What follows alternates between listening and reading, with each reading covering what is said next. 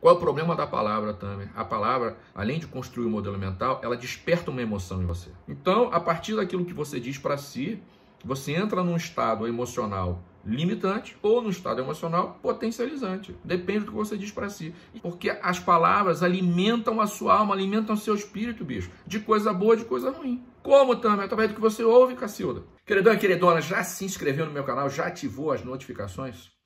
Aproveita, convida as pessoas do seu relacionamento que você ama para ter acesso aos conteúdos do meu canal. Então, observa o discurso e a vida do pessimista. Não é só o discurso, não é só o que ele fala. Observe o que ele fala e a vida que ele tem.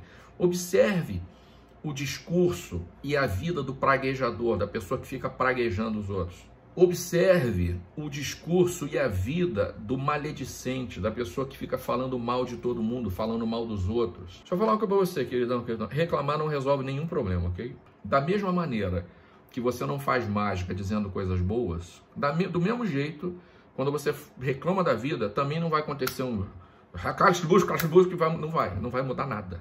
Vai piorar, porque o seu tronco cerebral, o teu SAR, a tua atenção, o teu foco vai ficar concentrado naquilo que é objeto da sua reclamação. Sabe o que vai acontecer? Você é atraído por aquilo. Não é que você atraia, é pior.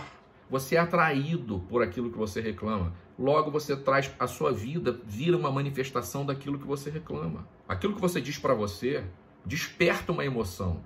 E as emoções, elas são potencializantes ou são limitantes. Observa isso.